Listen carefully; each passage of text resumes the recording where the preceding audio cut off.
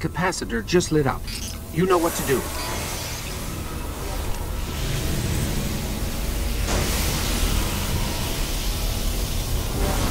That got its attention.